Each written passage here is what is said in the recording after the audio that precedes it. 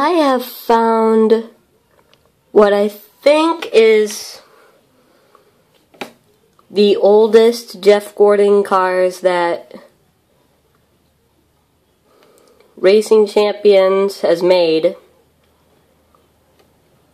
It's a three car pack of Jeff Gordon's three, I think, well, I think there is three oldest cars.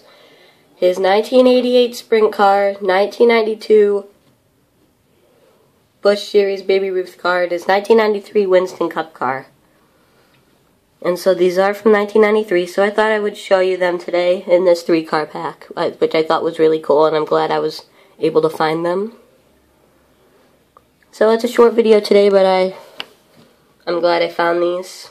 They're really cool, and I'm a big Jeff Gordon fan, so I think it's really cool. So I will see you guys later. Uh, it won't be, it will be a few days until I make a new video because I'm going somewhere for 4th of July, so I'll see you guys later on this episode of Logan Shops.